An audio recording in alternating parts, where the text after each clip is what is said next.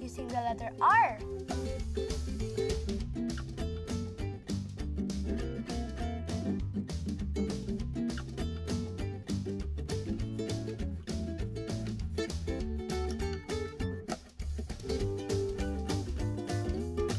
Can you now tell what this is?